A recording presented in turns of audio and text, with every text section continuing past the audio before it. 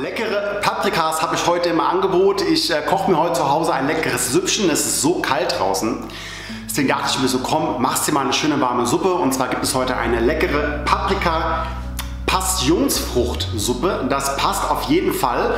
Ich habe Passionsfrüchte mir gekauft, die gab es gerade im Lidl, genau im Angebot. Und noch ein bisschen Passionsfruchtsaft dazu, das ist so ein bisschen die Basis für unsere Suppe. Dann habe ich noch so einen kleinen Ziegenkäse noch übrig aus dem letzten Video. Den werde ich auch noch verbrauchen. Und dann habe ich auch noch Biokresse mir gekauft, so ein kleines Köpfchen Biokresse. Das kommt dann oben so ein bisschen als Dekoration oben drauf. Ich würde sagen, Zubereitungszeit sind so 15 Minuten lecker, einfach nachzukochen und ich finde einfach auch Paprika und Passionsfrucht passt sehr, sehr gut zusammen. Und ich habe auch absichtlich mich für diesen Mix entschieden, für diesen Paprika-Mix und nicht nur für Rot oder nicht nur für Gelb, weil in der grünen Paprika die meisten Vitamine drin sind. Nur so als Tipp für euch. Ich weiß, dass das viele, dass sie viele nicht gerne essen, aber genau in dieser grünen Paprika sind die meisten Vitamine drin. Von daher wünsche ich euch viel Spaß beim Nachkochen. Ich bin raus. Bis später. Ciao, ciao. So, also wir brauchen drei Schalotten oder auch Zwiebeln, zwei Knoblauchzehen, zwei bis drei Passionsfrüchte, drei Paprikas, Thymian, Gemüsebrühe und Passionsfruchtsaft. Ja, am, am Anfang brauchen wir auf jeden Fall unsere zwei Knoblauchzehen und die drei Schalotten. Die werden wir dann gleich in da hinten in mein kleines Töpfchen schmeißen, schon mal schön anschwitzen. Dann nehme ich mir die Paprika, den Deckel von allen drei Paprikas hebe ich mir auf. Dann mache ich so ein Paprikagemüse gleich draus und der Rest kommt dann direkt in die Pfanne.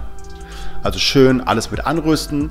Die sind natürlich vorher gewaschen. Guckt, dass ihr da auch die Kerne rausnehmt von den Paprikas. Vielleicht aber schön durchwaschen.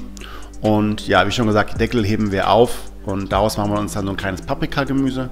Gehen wir dann dazu, schön mit anschwitzen, auch ruhig ein bisschen Farbe nehmen lassen. Das passt voll gut. Dann gebe ich noch ein bisschen Thymian mit rein.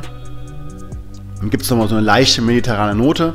Dann fülle ich das auf mit Gemüsebrühe, das sind so ungefähr 300 ml und 200 äh, ml Passionsfruchtsaft. Das lasse ich da so ungefähr so 20 Minuten, 25 Minuten ungefähr köcheln und aus den drei Paprikadeckeln mache ich mir dann ja, so ein kleines Gemüse, das heißt, dass ich das dann in kleine Würfel schneide. Es wird dann gleich angeschwitzt in der Pfanne, ein bisschen gesalzen und das war's schon. Also ich werde alles verwerten von der Paprika, das ist mir immer ganz wichtig. Die Suppe ist fertig, runternehmen, direkt die Pfanne aufstellen, so spart man auch ein bisschen Energiekosten. Ein bisschen anschwitzen, dann nehme ich mir schon mal meine drei Passionsfrüchte, schneide die auf. Ich finde halt einfach, die haben ein geiles Innenleben. Ich muss dazu sagen, ich habe eine schon gegessen während dem Schneiden und zwei werde ich dann gleich noch in die Suppe reintun.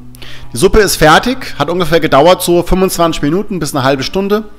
Dann können wir anrichten, da kommt mein kleiner Anrichterring wie immer in die Mitte des Tellers. Da mache ich dann Paprikagemüse drauf.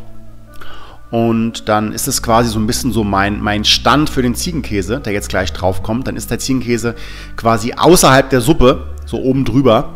Dann kommt noch ein bisschen Kresse oben drauf. Dann ja, wird das Gericht so ein bisschen angehoben, sage ich mal. Finde sieht dann so ein bisschen 3D-mäßig aus. Dann habe ich noch zwei Passionsfrüchte, die Kerne kommen auch noch so ein bisschen mit rein. Und das gibt mir dann so ein bisschen meinen Crunch. Das war's. So, schaut euch doch mal hier die Suppe an. Also ich finde das wirklich wieder wie gemalt. Ne? Unten das Paprikagemüse, dann den Ziegenkäse oben drauf, die Biokresse und die Paprikasuppe. Ähm, mal probieren. Mmh, geil. Also wir haben Paprika natürlich. Wir haben die Säure der Passionsfrucht. Die ist schon sehr geil. Und wir haben die Kerne, die ja auch in der Suppe sind, die geben mir so einen leichten Crunch. Ne? Mhm. Wer jetzt nicht gerne auf Kerne beißt, lässt einfach die Kerne raus. Ne? Noch hören? Mhm. Also man kann auch einfach die Suppe nur mit dem Passionsfrucht, äh, Passionsfruchtsaft machen, ohne die Kerne. Aber ich dachte mir schon, komm, wenn ich schon mal so eine Suppe mache, dann kaufe ich auch frische Passionsfrüchte. Und ähm,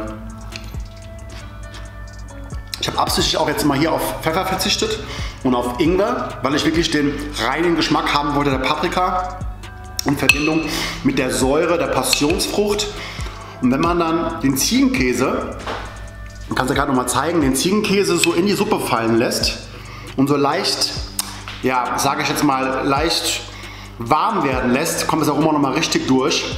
Da hast du halt so diesen strengen Ziegenkäse-Geschmack mit der Säure, der Passionsfrucht und der Paprikanote der Paprika.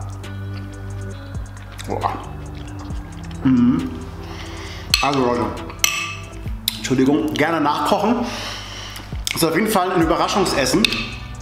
Ich glaube, Paprika Passionsfruchtsuppe hat noch keiner von euch zu Hause gemacht.